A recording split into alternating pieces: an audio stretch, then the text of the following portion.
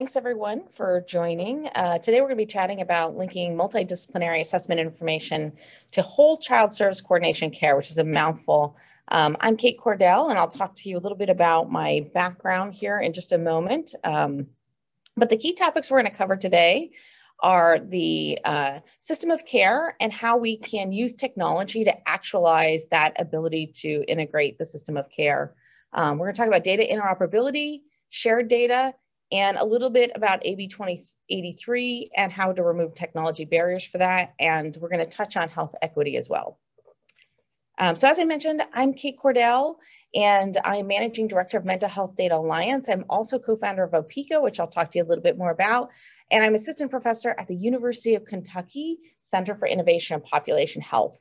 And through my work over the last several years. Um, my goals, I've identified my goals to really improve the use of information to support person-centered care, to evaluate when individuals and families are improving during care, to identify what works for whom, and to develop a movement for success-focused um, intelligence versus uh, looking for who, predicting who will fail. How can we predict how to help people succeed? Um, and through that, we will be able to remove or filter out institutional bias. So uh, what is the whole child when we talk about the whole child and um, the system of care? The whole child includes a lot of different areas. If we think about the whole child, we're thinking about not only the academic and the social and the recreational and the cultural, we're thinking about emotional, we're thinking about spiritual purpose. Uh, we're thinking about the physical aspects of the child, um, nutritional, financial, productivity, safety, uh, the environment, and, and just the ability to complete activities every day to function, so activities of daily living. There's a lot of different domains to consider when you're thinking about the whole child. So when we serve a whole child, we really need more than one system to address all the different areas that a child and a family may have uh, need for, need in, areas with need. And so the system of care really is this idea that we can address a whole child through these different agencies of mental health and substance use and primary care and, and justice with family sitting in the middle and the idea is that a system of care would be this organized and coordinated network with this supported infrastructure to allow collaboration across all of these different agencies this, in this system of care. So that's the idea um, that's been you know, proposed over the years about how to best engage and, and serve whole children and whole families. And so in considering a system of care back in 2014, when I was a graduate student at the University of California, Berkeley School of Social Welfare, um, I thought about how, you know, how, you know, we were given this challenge, how to address mental health, behavioral health, families, uh, and children. How do we, how do we promote well-being for children? And in that uh, thesis I developed, you know, schools stood out as this, this key doorway through which we could identify children's needs and children's strengths. Children spend so much time in school and they're, most are connected, if not all are connected in some way to school, even, even from a homeschool situation, you know, a school has access to children, to understanding children, their needs and their strengths and their well-being. And so if we put schools kind of as this central piece in the system of care for children, then we can create this tiered system approach. You know, and I've heard other talks in Breaking Barriers with uh, where schools are doing that three-tiered approach and identifying uh, needs in children early and, and you doing the prom promotion and prevention. Um, and so in 2014, when I conceptualized, um, you know, what a, a school-centric solution would be for promoting child well-being, you know, I proposed this school family community partnership with these three tiers um, where we would promote positive youth development, prevent mental disorder, assist recovery from mental illness. It was all very, um, you know, best world kind of thinking. Um, and as I went through that thinking uh, and that thought process in developing that that approach, you know, there were several things to consider. There were student, you know, what where there were low needs, moderate needs, intensive needs, and who is going to compensate for each of those different services um, based on need? Because we know with Medi-Cal or Medicaid, there's a necessity there. So what if it doesn't meet necessity? You know, how are we going to fund the different promotion, prevention, and treatment options? And how are we going to coordinate it? It certainly can't be all done by and through the school. And where is it going to be located? And you know, schools have hours, and what about after hours and and transportation and and then who's going to provide the service? Is it going to be provided by school staff or outside of school staff? And do we need this community partnership? And how are we going to kind of matriculate students through this um, level of service so that they get the service they need? And then how are we going to track that students receive the service and that um, we're monitoring our infrastructure? And so I was thinking about all of these things, all of these, the complex working parts of how schools could really sit at the center of children's well-being. Um, and and in that research you know i just identified or found from from the research that what's really important is having shared goals responsibility information and process across across the system of care. You have to have a shared grip like handing off of a baton. You know the, you need to share a grip um, goals responsibility information and process. And what that really means is that we're doing assessments and we're we're assessing um, and identifying goals that may be specific to our, our part of the system of care, but that can be shared across the system of care. Um, we have our own de definition of success, but that sits under an umbrella of a larger definition of, of success for a whole child um, in process, that means our activities don't work against each other, that there's um, a workflow between the different systems when we hand off that baton, and that we're monitoring not only our own outcomes, but we're keeping an eye on outcomes that are the focus of other agencies in that system of care um, and other domains in that child's whole well-being. And we share responsibility for that because we know a whole child can't be well if there's one area out of place. And even if it's not the area that we focus on, we're identifying how to help those other areas. Um, we're sharing that problem solving and decision making um, responsibility. And then we're sharing information and communicating information about the whole child uh, through evaluation of the results and, and, change over time and progress. And only then can we really have a system of care if we share these different areas. but what I found, uh, you know, through the consultation that I've done over the last decade um, in California for uh, Mental Health Services Oversight and Accountability Commission, for Department of Healthcare Service, for the Department of Social Service, is that the system of care does not look like the flower uh, presented earlier very often. It more often looks like uh, caps for sale with a family wearing multiple caps on their head. Um, depending on their need, they may have a cap for education and mental health and substance use and, you know, some physical challenges with primary care. And and and so the system really just sits on top of the head of the family stacked on there um, kind of in an uncoordinated fashion. Even though we want to coordinate there's so many barriers to getting that coordination. So i've spent the last 10 years finding ways to try to piecemeal together different technology solutions to help for example san francisco's um, family child welfare services connect data and information with the mental health services um, through technology so that we get a whole picture of a, a, child that is um, served across different agencies in a system of care and built a tool for that, but that was not gonna solve the problem long term. So thinking uh, over the years, how do we create a shared grip in, in, in a sustainable way? How do we create shared goals in a sustainable way um, and share that responsibility and the information and processes. And we've heard in some of the talks, you know, through the conference this week that folks are doing that in in in these these um, initiatives, and they have these great leaders that are creating these initiatives to create this shared grip and to have this three-tiered system in in schools or across communities to to really perform um, what's something that looks closer to a system of care but what happens when those leaders change or when the grant runs out?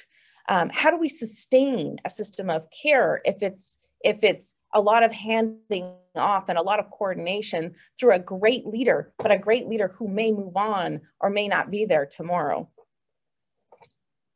And what we really need um, is to remove the technology barriers so we're not handing off pieces of paper um, in a physical sense or mailing uh, paper to each other um, in, in the COVID world or emailing PDFs, that we have some sort of coordinated system where we can see and work with each other in an efficient manner.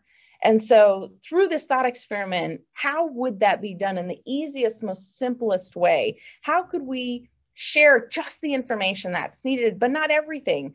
We don't need to, the school doesn't need to share all of its records with mental health, and mental health doesn't need to share all of its records with the school. And child welfare doesn't need to share everything it knows with mental health, only the pieces that mental health needs. We need to be able to share the information that helps us have that shared grip but not overwhelm each other with all of the details about the work and the focus that we do.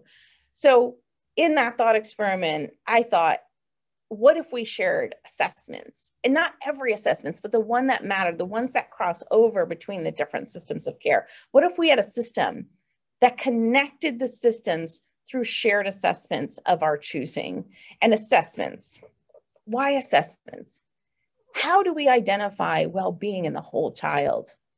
What do we do to identify how a child's doing culturally, emotionally, productively, we assess. Assess is the evaluation or estimation of the nature, quality, or ability of someone or something. And schools use assessments. Child welfare uses assessments. Just, juvenile justice uses assessments. Developmental services uses assessments. Mental health, behavioral health, primary care. Assessments are used across all of the different agencies in the system of care. And it is the only approved means for measuring behavioral health outcomes. There are no other. It is assessments. And until we have chips placed in our head to identify what it is we're feeling and how it is that our circumstances may have changed, we need to ask through assessments. We are going to ask in standardized ways how are you doing? What are your needs? Can we build your strengths? And that's going to be done through assessments. What are assessments used for? Generally, they're used for screening, referral, placement, level of care determination. They were used for matching the right staff to the right family or the right family to the right program. They're used for goal setting, for safety planning, for action planning, for service selection, for treatment planning, for outcomes management, for program completion, decisions for transitioning, for program evaluation, for fidelity and effectiveness. Assessments are at the heart of everything we do. And so if we're going to share assessments, and, and, and that's going to be how we begin to create this communication line so that we can share goals, responsibilities, information, process. Well, which ones should we use? We should clearly use the ones that measure well-being, so maybe that's a, a PHQ-9 or a prepare, or maybe it's about social functioning. Perhaps it's about the parent report. Perhaps we're looking for acceptance and action, or we're looking for happiness, or we're looking for psychological functioning. Maybe we're looking for social needs. Perhaps maybe a psychiatric rating scale, maybe insomnia, maybe um, these other questions about food and, and substance use. Maybe it's a pediatric symptom checklist. Perhaps it's a CANS. Maybe it's a RAPID. How about a post PTSD assessment? What about the HUDAS? What about the, the general anxiety disorder? There are so many different kinds of assessments, tens of thousands of different kinds of assessments. And if we are going to think about a whole child, we can't use one assessment. We have to use the assessment that gives us the information we need for the area of focus that we have. And for every one of us, that's going to be a different set of assessments. So we can't just all decide that we're going to use the CANS and then move forward. Although that may cover many of these areas, there's going to be other areas that we need to ask about or need to focus on. So continuing that thought experiment, knowing that we need to be able to share assessments, but we can't a priori decide which assessments we're going to share. We have to be open to sharing what's needed for that family and being open to asking questions of that family that are going to serve the purposes of the work that we're going to do. So continuing on that thought process from 2014, when I was writing this paper, I continued to think what would solve this problem? How, if, okay, so if we're going to share assessments, we can't just decide on one. We have to collect, be able to collect and share any type of assessment depending on the circumstances and the needs of that family. We have to store those assessments in a standardized way that's electronically accessible and shareable across systems we have to convert the responses of those assessments into something meaningful. I don't want to share a PDF about some bubble checked um, assessment. I want to share meaningful information that I can convert into reports and evaluations.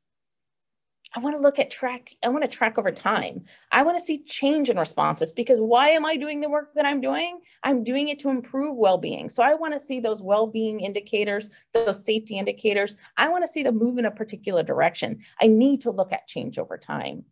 I need to support my own definition of success. While we may have a definition of success for the whole child and whole family overall, I am focused in my agency and system of care on my definition of success. And that may be academic, it may be safety, it may be mental health and well being. But I need to focus my work on that success, although keeping in mind a definition of success of the other areas and the overall definition of success. And I need to share that, that definition and that information across the system of care because ultimately we're talking about a whole child and a whole family.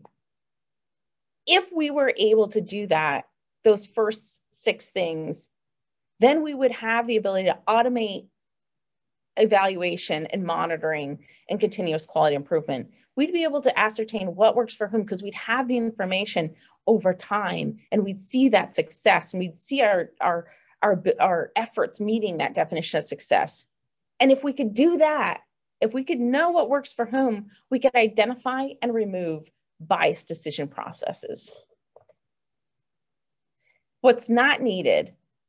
So in this investigation and this thought experiment that I did over these years, things that I identified that were not needed. We don't need another electronic record system there's plenty of them. There's electronic health record systems, there's you know school record systems, there's a lot out there that, that are very specifically designed for a single entity, their processes, their regulations, their laws, their auditing, they're oriented toward achieving that one agency's goal, that one area of the system's goal. They're very rigid in the rules and they don't adapt. And as we mature and we learn what works best as we collaborate, another electronic health system is not going to to serve our purposes. We can't all we can't create one ginormous electronic record system and say we're all going to log into it and that's where we're going to store everything about a whole child. That's not feasible today and maybe in 10 or 20 years, but not today.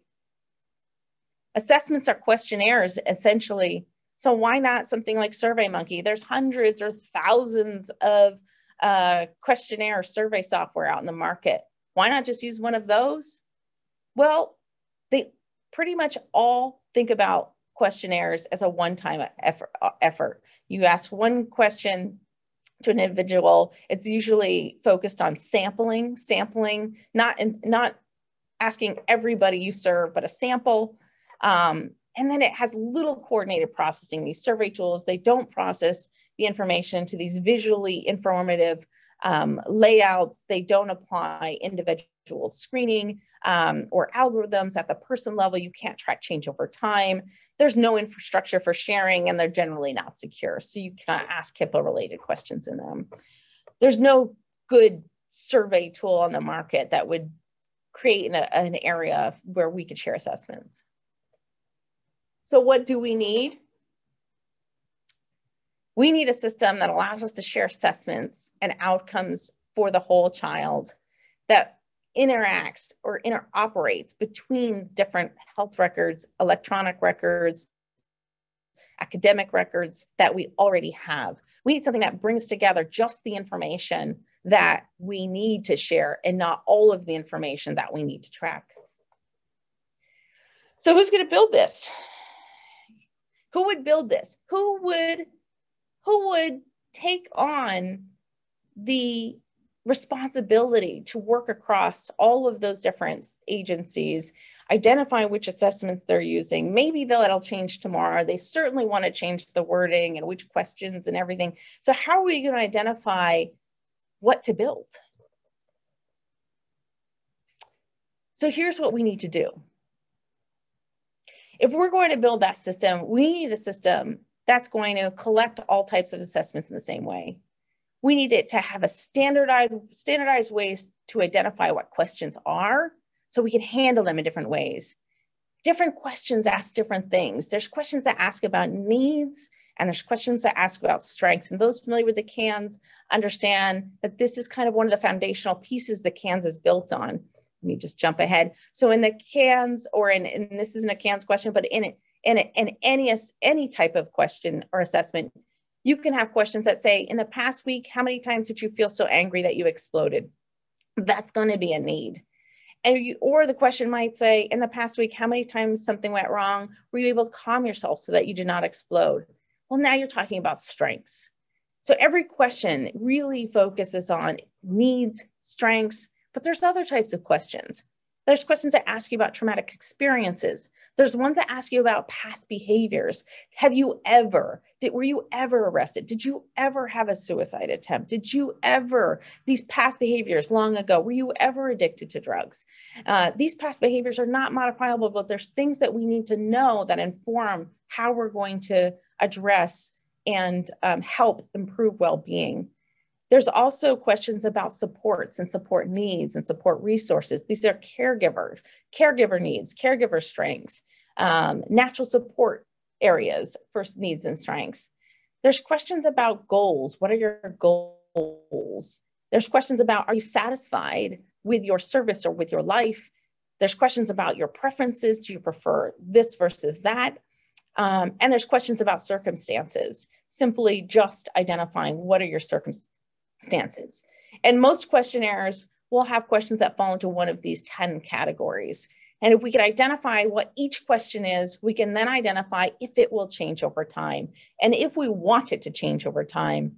If we know what each question is and we know if we want it to change over time, we are well on our way to identifying what our outcomes are and our definition of success.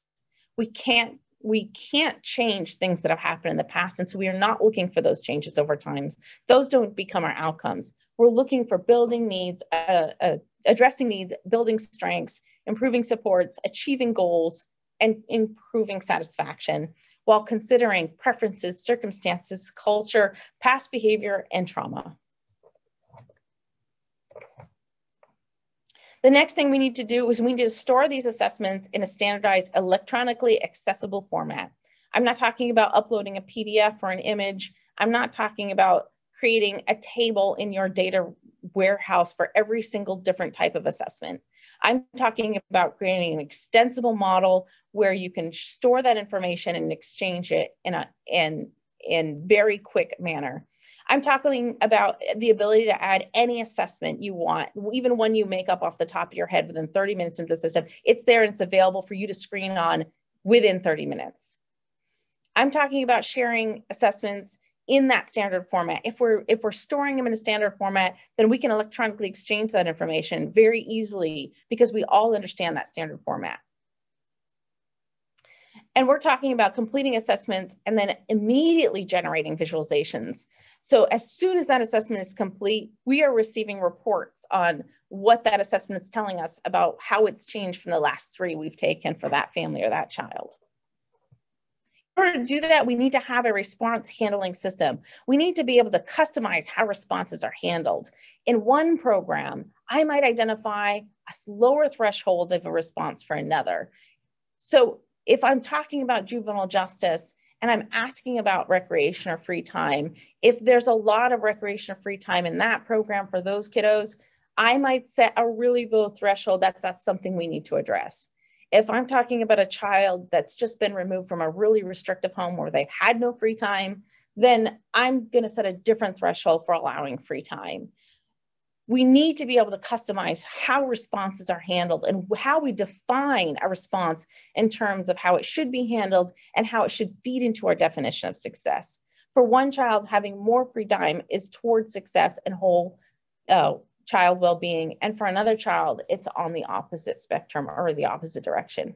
We need to be able to handle these responses in a way that's specific to the child, the family, the program, and the type of care we're trying to provide. We need to be able to convert those that information as soon as it's collected into something that's meaningful. So in the, if we were able to um, identify types of questions and then identify response thresholds, we could um, automatically convert those into story maps so that we know if this question is answered over this threshold, it becomes a need and it's a targeted need for, for what it is that I'm trying to do. And that moves all of the information into a, uh, a story map. It can also move the information directly into a family report. As soon as I take that assessment, that looks like one of the assessments you saw earlier with the bubbles, it can export like this so that a family can understand the results of what it is that they've just assessed on instead of a series of bubble sheets snapped together. We can also provide change over time so that staff can look and monitor different changes over time. If we had these questions identified as strengths or needs and trauma experience, and we knew thresholds above which were specific to the type of care that we are trying to provide, then we can implement these automatic level of care placement algorithms that have been um, identified by experts in the field so that as soon as an assessment is completed, you get the recommendation about a level of care. And that may be a step up or it could be a step down alert. So if we could, now that we have this operationalized set of assessments, we can now identify when recommended step up or step down care is should be a, uh, a considered based on our needs um, and the experts in our local area and what they think.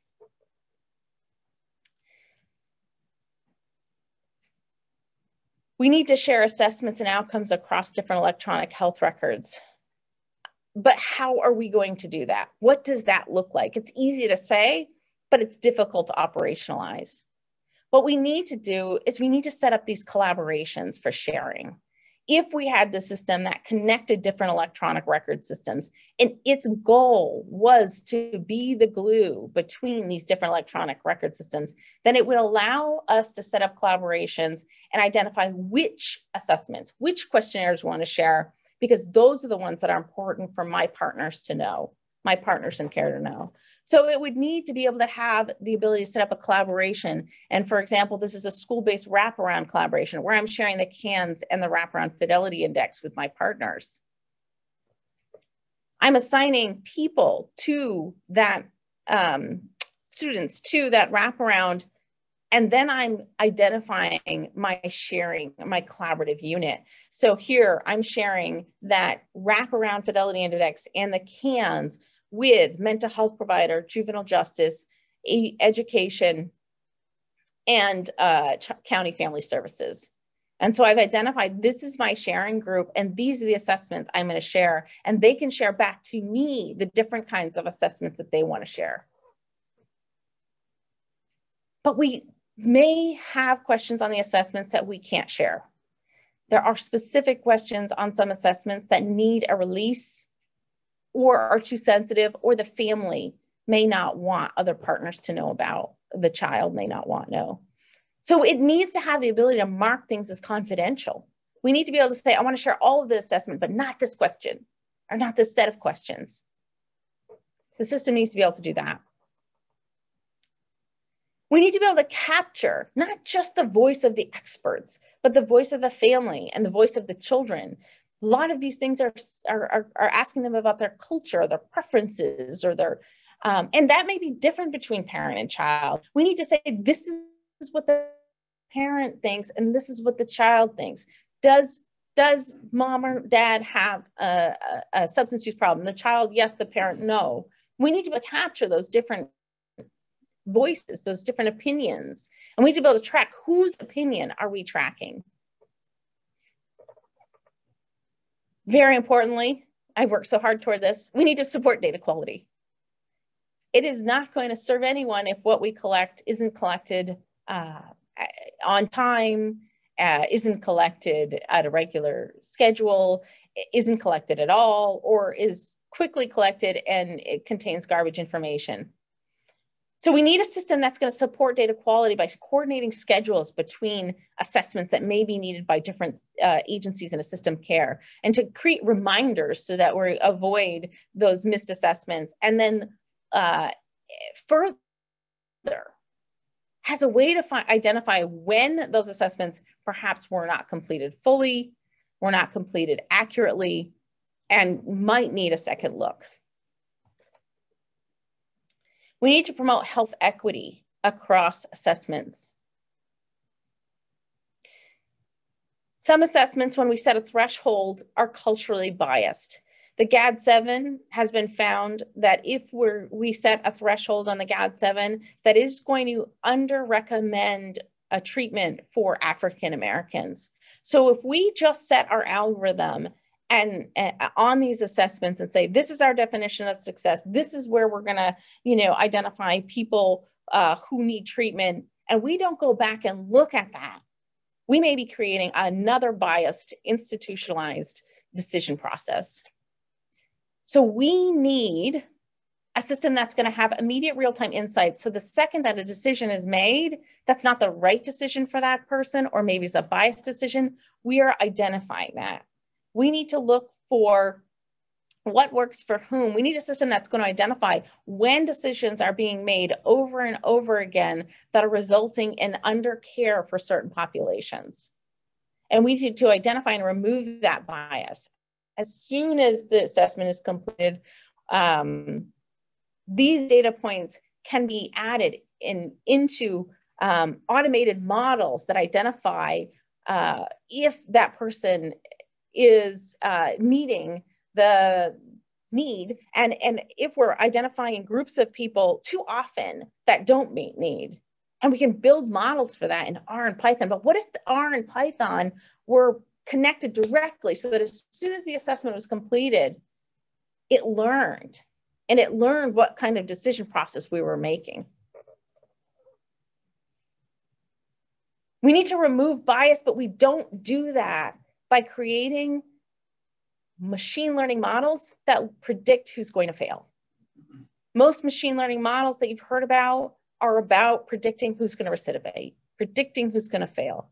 These models are not helping us. We need to visualize who could succeed. We need to create success focused models. Look at when people succeeded, what supports did we offer them? What circumstances did they have that changed that resulted in that success? And how do we repeat that for people who look like them that we see tomorrow? We need to visualize who could succeed in these models. Those models look so much different than the ones that predict who can fail. Models that predict who can fail are, are, the models that we've all heard about in the weapons of math destruction and other areas. And those look at different indicators that put people in these buckets and repeat the, the, the, poor decisions that we make over and over again.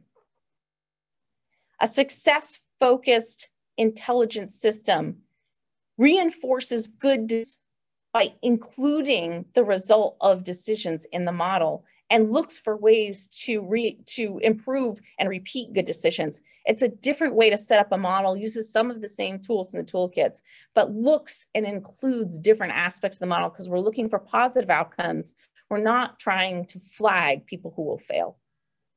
We're looking at how can we improve so that we can help more people succeed. We need to build those types of models into our systems. So we're identifying how to help people succeed. And when people don't succeed, what is it that we could do better next time? Those models can't exist with the same tools that those destructive models were built on, but we've got to do it in a success, success focused fashion. Those are the things that a system would need but who is going to build a system like that? Well, I've been thinking about this a long time. So I built it. and it does all of those things.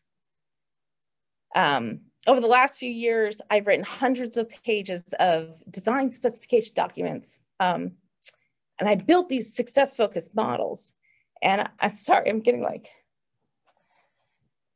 I spent so much time working on trying to figure out how can we stop solving the problem one, one single agency at a time and really create a system of care, an interoperable system of care.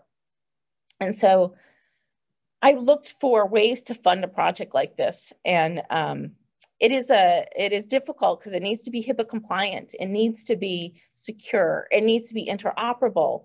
It needs to support models and workflow. Um, it, this, to standardize the information, it's it's not it's not something that's often done to to be ready to collect any type of information without knowing what information that's going to be. Um, so I spent time building that data model, and then I pitched that idea to local local investors um, like Dale Carlson, who uh, believes in foster care. And uh, anyway, I don't know why I'm getting, maybe it's the election that's getting me all uh, emotional. But um, anyway, I found a local investor who agreed to be a mentor to figure out how to fund this project. Uh, and we funded it and we built it. And it does all of those things. It, it, it can identify whole child well-being uh, from any type of assessment, we can put it in in 30 minutes. We can um, look at person and process measures, uh, not just person, but also process measures. We can capture needs, strengths, exposures, past behaviors, support needs, support resources, circumstances, pre preferences, opinions, goals, and we can handle that information so that it's um, looked at in a visually appealing way as soon as the assessment is collected. And really, this is what we, I think, can help support shared grip. We can track assessments over time and look at outcomes based on our own definition of success. We can look at our system strengths and we can automate our ability to look at those strengths. We can remove institutionalized bias because we can identify it. And we can support person-centered care. And uh, we are rolling out uh, this system um, to a couple agencies, in, uh, as well as to the Eng to England foster care system. Um, and so they're they're beginning to uh, uh, make plans for training on on this system. So I'd really like some more volunteers uh, uh, for an advisory committee so that we can figure out how something like this could work for for California.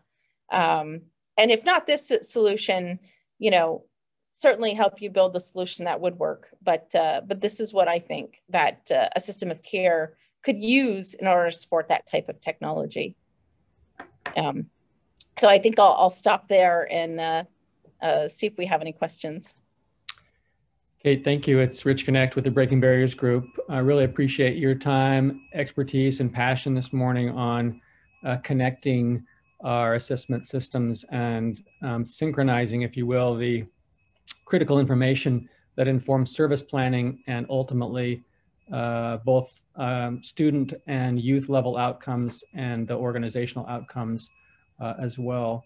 We have a couple of questions in the Q&A and we have ample time for other questions that you can go to the Q&A box uh, prompt down below and put your questions in. Um, Kate, the first question is relatively general. Um, how are you sharing this information? For example, are you obtaining uh, releases of information? Um, so if you can reflect a little bit on uh, kind of the operational needs that organizations would need to put in place uh, to make something like this actionable, that would be great. Yeah, yeah. So it's no different than if you were to share paper, right?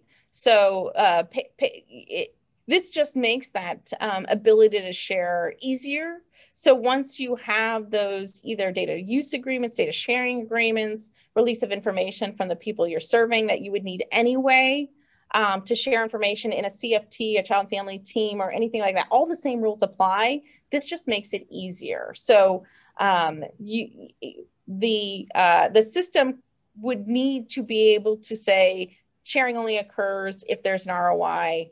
Um, that ROI needs to exist, then let's turn sharing on, right? So um, that that all applies. in the same way that it would if you were sharing in any other way. It just removes the difficulty in sharing. Appreciate that. Um, let's see, uh, wondering, uh, does Opeeka stand for something in particular? Is that an acronym for uh, a functional? No. no, it doesn't, but maybe we should think of one. No, Opeeka doesn't stand for anything in particular. All right.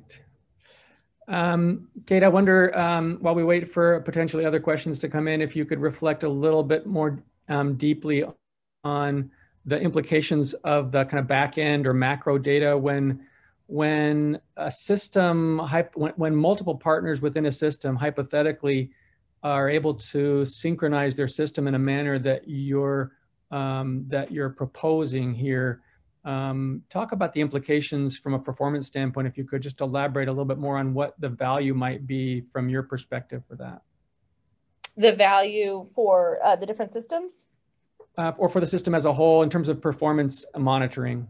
For, oh, performance Out, monitoring. Outcomes sorry. management. Yeah, absolutely. So, um, if you're able to join together the different assessments um, and look at kind of the whole child, then we can look at performance in terms of, you know, are they doing well academically? Is the uh, sleep or the primary care, the physical related issues associated with that academic performance. And so if we're looking across the different systems or the different agencies in the system of care, then we can um, get a greater picture and, and identify that, you know, maybe academic isn't the focus right now because there's safety and physical issues that need to be addressed first. So I'm going to back off on my area um, on the academic side and, and help and support the physical and safety issues on on the other side so really that coordination is one of the benefits and then in terms of monitoring the outcomes over time you know i'm not going to um, evaluate my system on simply just academics when i'm thinking about the whole child so we're going to be able to contextualize our outcomes into a broader definition of success um, in addition to our own individual success that we may be tracking now. I don't know if that answered your question, Richard. Yeah, no, I love that. And just from a, a system of care design um, standpoint, so often the investment in program design or implementation of an evidence-based model, for instance, that the outcomes are only evident when you are in partnership with others. I think of uh, some of the great examples of where, uh, you know, the Juvenile Probation Authority, for instance, in California has state funds for prevention and they invest those through a partnership. They often end up actually keeping kids out of hospitals, keeping kids out of the welfare system. So it's only when you are kind of interconnected in terms of outcomes monitoring that you see the return on your investment. Um, so it's really a, it's a fascinating concept. I've got a number of other questions that have come in. Um, at the risk of getting uh, technical, Kate, could you just elaborate for about 60 seconds on how you develop the algorithm component underneath uh, your product? Yeah, absolutely. Um, so there's a couple different uh, components that that have algorithms. Uh, one is a ability to implement uh, parenthetical logic through a, a, decision tree algorithm, similar to the one that John Lyons and April Fernando create. Um, and so I've developed a, a, model for implementing that decision care algorithm, um, which is really just a, a pretty straightforward rules-based algorithm. Um, and so that can be automated based on the, the question answers. Uh, in addition to that, you set the thresholds. Um, and I think I showed a picture of that earlier. This is the rule-based one. Let's go back up here. Uh, this one here. So you set the threshold and then you identify what combination of um, Uh, of, of question answer possibilities you want to to result in that decision th threshold. So the algorithms are completely customizable based on the ones you already have in place or the ones you develop with John Lyons and April Fernando if you're talking about the CANs or the ones you want to test out. So um, I do not develop the algorithm decision trees. I just implement them uh, so that they can be automated. So you get the result as soon as the assessment is completed or the set of assessments are completed. That's the one area. And then the other area is more of the ability to support higher level analytics, including regression, um, you know, latent class analysis, uh, neural networks, uh, recursive partitioning, you know, this higher level ability to look at data in a way where we can learn from those patterns. That's implemented through R and Python. It's completely integrated with the data. So I have a 10 minute delay, but 10 minutes after an assessment is completed, that data is cleaned, transformed, and imported into either R or Python of your choosing. Um, I have models in both that I've developed, and uh, it will push out within 10 minutes. This is a recursive partitioning tree here. Um, within 10 minutes after the assessment's built, uh, completed, you have the ability to add that information into this recursive partitioning. That's a random forest and a recursive partitioning built in R. And it was, like I said, within 10 minutes of that assessment being completed, it's pushed into these models so that these models can continue to learn about your local population as you work. So if your population trends change, these trends change because they are built um, in R and Python learning models. Um, we also have the ability for analysts to uh, log in to this workbench here and create their own R and Python models from that data. That's fascinating. So hypothetically then, uh, um, I could be a child welfare case manager and my education partners have just completed some assessments associated with the request for an IEP um, for us for my our shared student, and those are uploaded, and I would get an email telling me those assessments are done now and they've been incorporated into the larger um, the larger um, analysis. Yeah. I can, yep. I can, yeah, assuming all the right organizational releases are in place, I can now see that that information. That's right. And and I mean, this is more of an aggregate model that you're looking at here. Um, there's always there's a individual level information that looks and tracks over time. So this is kind of an individual level report. So you can see uh, in this example, you had psychosis um, increase and uh, it looks like uh, substance abuse also increased in this example. So, um, so yeah, so you can see change time as soon as they're completed. If you're in a sharing, a collaborative environment and you've shared that particular assessment, then you would get that information as soon as it was completed. And not only that, if you're a couple of agencies that are uh, collaborating on the same assessment, like the CANS, which could be used across multiple different agencies in a system of care, you can fill out your section and then the other folks can log in and fill out their section. So you can fill out the assessments together across different agencies. That's fantastic. And just for just for confirmation now, you have one agency in Southern California using this, you have an organization in Florida, and you have the nation of England now that's signed on. Is that correct? Uh, yeah, it's Georgia, but uh, yeah, go Georgia. Um, it's in Georgia, and uh, and then England is is um, yep, they're they're working on uh, getting on right now as well and starting to train. And then one final question, and I, I think the answer is affirmative, but um, the, do you need to train all the partners then on the various assessments collected so they have to under, so they can understand the assessment tools? I think the answer is is no. Although I can see value in people understanding each other's assessment tools, what this does is cuts through the need to actually do that, right? That's right. Yeah, you don't uh, because you can color code. All the color coding is customizable as well because you can color code all the answers. You don't really need to understand the answer so much as if you see that color, you can know okay, you know that's trending above a threshold where you know, uh, my partner is concerned about this. Um, you don't need to be concerned about it as much, but you, you that way you see, ah, there's psychosis concern. I don't know what a three means on a CANS if I'm coming from, you know, maybe juvenile justice. I don't know. Say it could be go zero to hundred. Three slow, low, very low. I don't, you know, three, but three's orange. Ah, I see. That's a concern. So now I don't know anything about this, but I know that there's a concern here from my partner in in psychosis. Kate, thank you very much. We are out of time, um, but want to express appreciation again on behalf of Breaking Barriers, and uh, we'll invite folks uh, to move on to the next session. Apologize we couldn't get to um, uh, any other questions. Uh, Kate, thanks so much. Yeah, thank you.